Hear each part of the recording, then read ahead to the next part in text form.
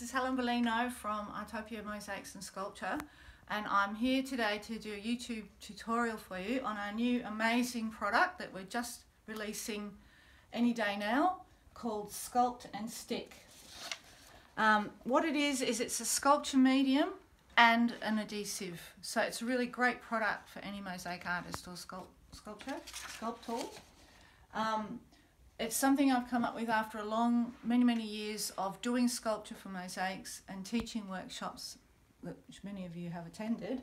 And I've always been looking for some sort of magic uh, formula that makes the sculptures do what I, I want them to do. And so for a long, long time, I've been playing around with formulas and different things. And in conjunction with my husband, Sebastian, who's an industrial chemist, we've managed to come up with this formula which I'm really, really, really happy with and very excited to share with, with everybody in the, in the mosaic community. So we've called it Sculpt and Stick. I did run a competition with my Artopia community for a name and congratulations to Leonie Scott for picking that name, which is fantastic because it tells us exactly what it does. We're going to be rolling out this product in stages. So the first stage is a kit something that you can do on your own without workshops because during this uh, COVID times we're all stuck at home so I thought it would be sort of fun for you to have something new to play with. So we're just releasing this kit this week and I'll show, show you everything that's in this kit. Um, this, this kit gives you the ability to use Sculpt and Stick or SNS to cover a found object. So it's quite a simple method. We will be demonstrating a shoe in the next YouTube tutorial. Um, there are many, many other uses for this medium. You can model with it and, and you can do other various things with it. If you look at this Egyptian cat, which I still haven't quite finished, I covered my original wire armature with SNS and I did a second coat to smooth, so I had a nice smooth finish. Once that was dry, I also I just added these legs and the face with SNS, but used it as a modelling medium. So there's actually no armature wire or anything underneath here and part of the face. I modelled with it like you would a clay. And that is really what I love about this.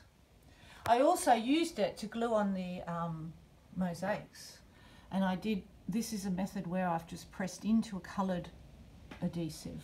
So I've coloured SNS with our artistic, Artopia artistic tints. This is a green one. On the catalogue, see I used a black one. So you can see that it does have more than one use. And we'll be rolling those different uses out over a period of time in workshops when we can reopen and also in kits. So let me show you this kit. Um, this, this kit has inside two kilos of this SNS powder. It has quite detailed instructions on how to use it and the safety information. Uh, it also has addresses for links on the internet where you can watch the YouTube videos and get more information about things. It has a roll of a fiberglass tape, some applicators, a dust mask and some gloves. So that's pretty much most of the things you need to, to do this um, to do this type of sculpture. You just need to find a found suitable found object and some containers to mix with. Um, I like to reuse things. We're really big on, on sustainability at Artopia, so I also encourage you to make sure you find some things that you can reuse in, in this for these things rather than buying new plastic. So safety is very important when you use this product. It is a cement-based product, okay? So that means it's great because it can go outdoors, but you do have to protect yourself because any cement-based product contains silica and silica can be harmful for you. So it's, it's no worse than any other cement-based product, but we do have to be careful of our health. So when you're using the product, we must wear gloves, we must wear a dust mask and we must wear safety glasses with shields, side shields, okay? Now I'm going to show you how to mix it now that I've prepared myself for safety. So the ratio on mixing SNS is one part water and two and a half parts of the powder. It doesn't matter what measuring cup or system you use as long as the ratio is one part to two and a half parts. Okay, so we've got our one part liquid which we will pour into this container. Then we will tip our powder on top. You can see that it does puff up, which is why we need the mask. So if anyone else is working around you, you need to do this somewhere away from them. Obviously outdoors and or a well ventilated area is the best place to do it. Now we, we give it a mix. Once again, I love recycling. I get old knives from the drawer or the op shop usually, but of course you can use things like this if you want to. So this is how you'll see it takes quite a while for the powder to be taken up into the liquid.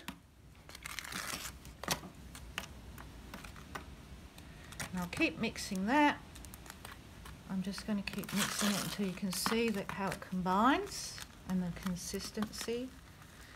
We usually go with a toothpaste consistency when we're mixing up any adhesive type or cement-based products. You can see that's making a lovely toothpaste consistency like that. So you give it well combined. I would keep going mixing that a little bit longer I wasn't under the time constrictions of a video. Once you've done that, you let it sit for five minutes. Okay, this one has been sitting for five minutes. When it's been sitting for five minutes, you can give it another stir, and that's just to make sure that the everything's the liquid has taken up all the all the powder, and then you're good to go. Okay. So for this method that we will show you that belongs to this kit, you can start working straight away. For some of the other methods, like when you want to model something, you would let this mixture sit for one hour before you start working with it. But we're going to go into that in the future. So that's all I need to show you for this particular YouTube video. Um, the next one is part two, where I'll show you how to use this kit to cover a found object and turn it into a sculpture as a basis for your mosaics.